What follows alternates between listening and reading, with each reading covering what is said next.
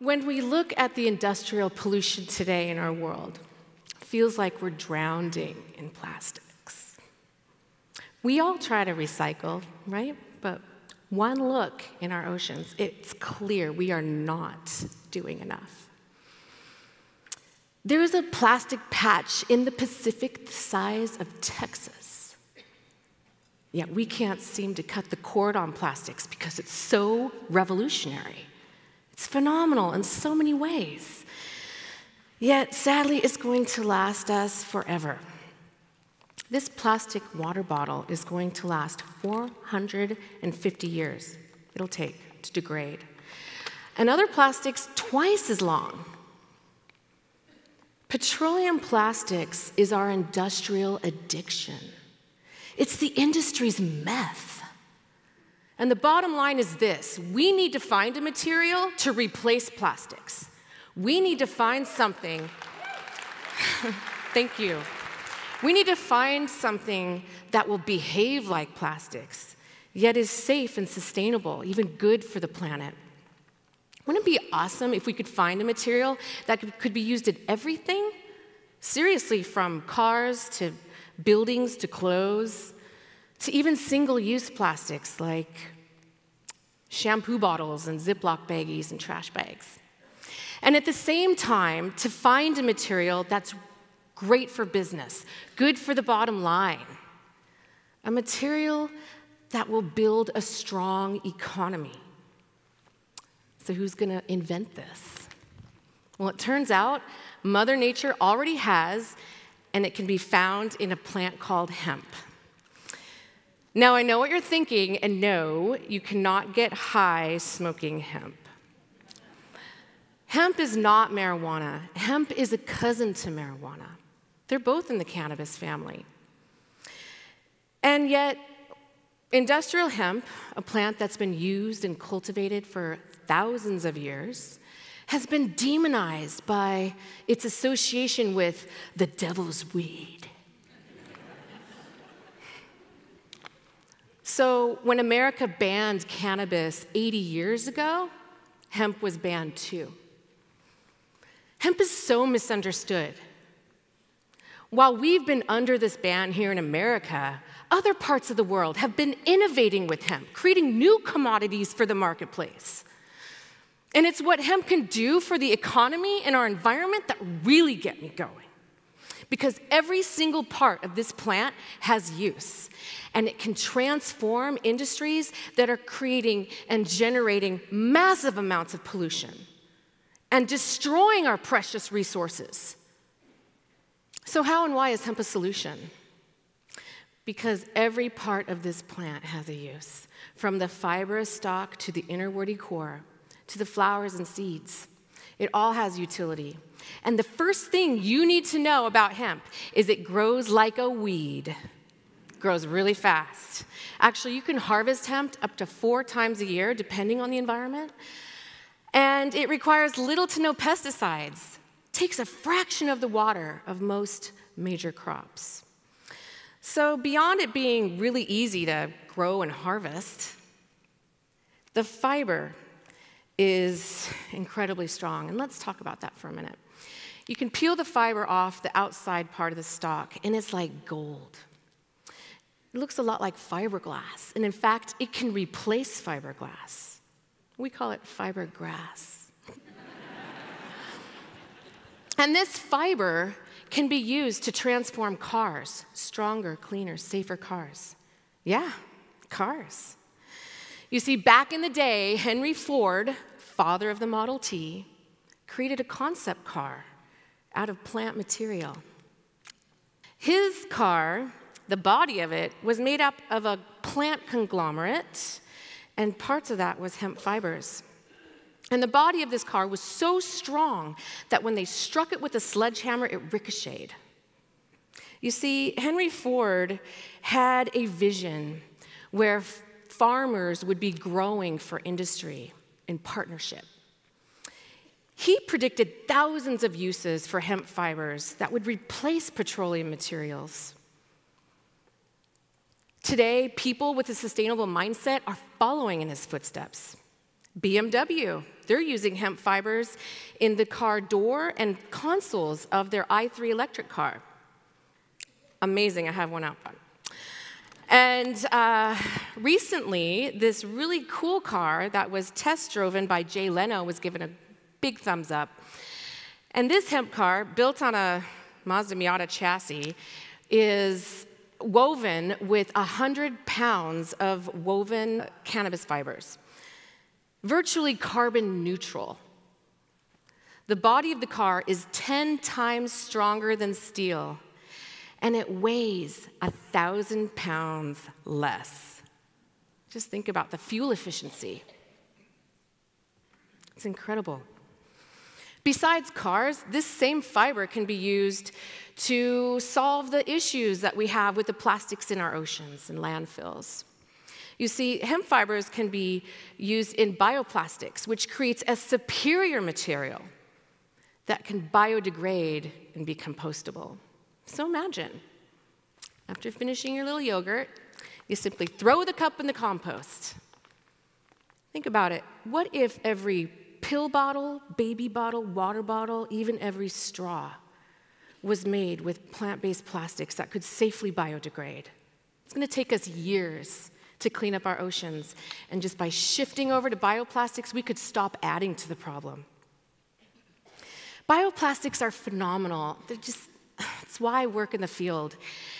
And beyond cars and bioplastics, this hemp fiber has thousands of uses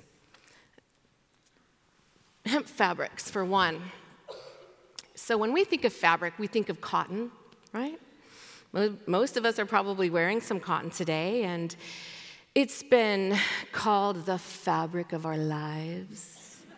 Mm, it's good stuff, right? But cotton has been called the world's dirtiest plant. Cotton takes a quarter of the world's pesticides. These are chemicals that the World Health Organization has rated as hazardous to human health. Also, cotton is a water hog. Okay, hold on to yourselves for a minute, because this is nutty. The world's largest GMO crop, cotton, takes 5,000 gallons of water to produce a mere two pounds of fabric. That's a t shirt and a pair of jeans. Where hemp takes half the land and 10% of the water to produce the same two pounds of fabric. In a world struggling with climate change, water is one of the most precious resources. Beyond the fabrics, right, we have hemp paper. And hemp paper has a very long history. The Gutenberg Bible was printed with hemp paper, as was the original King James Bible, even the Declaration of Independence. In 1619, Virginia voted their first hemp laws requiring colonists to grow hemp, and they fined those who didn't. It was that valuable. This is what's going to take for paper. It's going to take you four acres and 20 years to get pulp, whereas hemp paper, you need one acre and three months to make the same amount of pulp. Pretty incredible.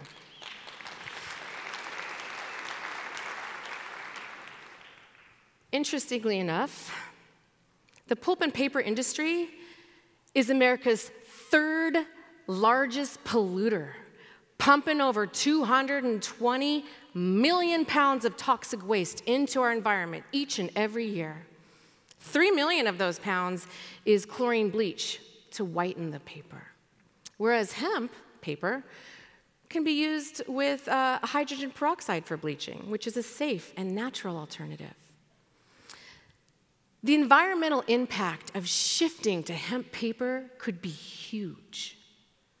So we have super safe and strong cars, superior bioplastics, paper, fabrics that outperform. And that's just one use of this plant. So let's talk about the inner woody core called hurd. Now, hurd is used for and highly prized as animal bedding because of its absorbent properties. Actually, it absorbs four times its weight, which makes it an excellent application for soaking up oil spills. And even what's more exciting, not that animal bedding isn't exciting, is its promise for homes and buildings. Today in America, there are hemp homes. It's true. Certified owner occupied. Legit. And actually, you can find these around the world. These homes are made with hempcrete, which is an alternative to concrete. Hempcrete is amazing. It's practical, inexpensive, it's strong, lightweight, it breathes, it actually absorbs carbon dioxide. Man, the thermal and insulation properties are off the hook. Truly, this is an architect's dream come true. Hempcrete can be used in flooring, in walls, as plaster, even insulation. So, how do you make hempcrete, right? Well, it's actually not rocket science. You take the hurd, you mix it with a lime binder and some water, and kapow, you have a material that's gonna petrify over time into a mineral state lasting centuries. In fact, there is a hempcrete bridge in the south of France, 1,500 years old, still in use. We need to rethink our relationship to hemp. The 2014 Farm Bill allows America to grow hemp on a very small scale. Fast forward 2018, in the summer, the United States Senate passes a new farm bill which would allow America to grow hemp legally. This is very exciting, and we're still waiting for the House to pass this bill. With the shackles off, America could take huge strides forward. I've only touched on a few applications that we can do with hemp. Believe me, there are 50,000 applications that we could be benefiting from. And I haven't even talked about the, the seeds and the flower. And I just, forgive me, you have to know, we were all created with an endocannabinoid receptors in our body. We're ready to absorb this plant ourselves. And I have to tell you that. I couldn't live with myself if you didn't know that. There is hope in hemp for a cleaner, stronger, safer world. Back in the day, many of us heard stories of the Native American and the buffalo and how they used every part of the buffalo where nothing was wasted. Everything was used. I see hemp as our green buffalo, where we could use every nook and cranny of this plant, where nothing would be wasted. The UN is calling for a serious throwdown in sustainability. They're calling for sustainable commodities, communities, and new technologies by 2030. The UK is banning plastic starting in 2019. yeah, they're going to start. Mm-hmm. And then France, soon to follow in 2020. Norway is, is starting to tax petroleum materials. We need to go green by growing green.